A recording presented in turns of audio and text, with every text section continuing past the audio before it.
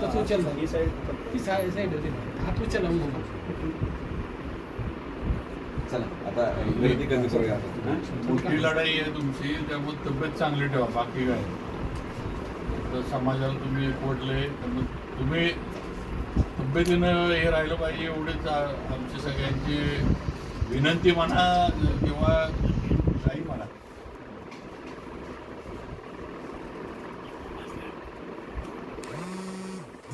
आत्ताच आमदार शिवेंद्रराजे भोसले यांनी जरांगे पाटील यांची भेट घेतलेली आहे. बाबा काय तुमची चर्चा? नाही चर्चाने त्यांना सातारची रॅली आणि सभा झाल्यानंतर तब्येत अस्वस्थ झाली.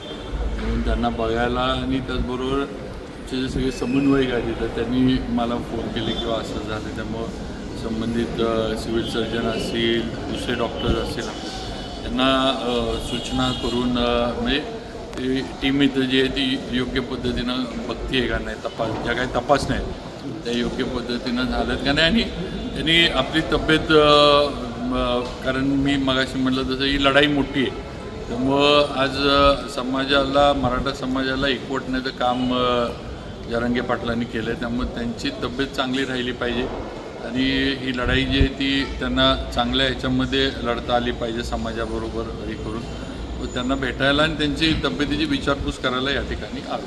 बाबा तुमचा आरोप हा भाजपवरतीच आहे. तुम्ही भाजपचे नेते आहात. तुम्ही ह्याच्या मत तुमच्याबद्दलचं कसं आहे? नाही भाजपचा मी जरी पक्षाचा आमदार असलो तरी नागपूरच्या अधिवेशनामध्ये ज्यावेळेला नागपूरचं अधिवेशन होतं त्यावेळेला मराठा आरक्षणाचा विषय मांडायची आणि मराठा समाजाला आरक्षण मिळालं पाहिजे ही चर्चा त्यावेळेला मी आमदार म्हणून नागपूरमध्ये मांडली आणि सुरू सुरू केली. म्हणजे तिथं सुरू जी हे झाली.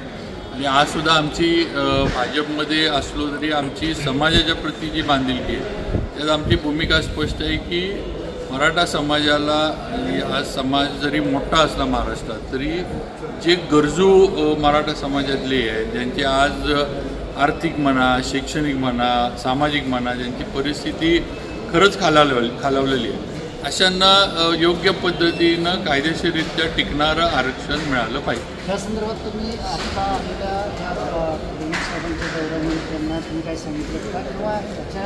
त्यांनी आत्ता सांगायचा असा विषय नाही. आमचं दरवेळेला ज्या ज्या वेळेला आम्ही मराठा समाजाचे आमदार मुंबईमध्ये किंवा कुठेही पार्टीच्या त्यावेळेला आरक्षणाबद्दल चर्चा होती.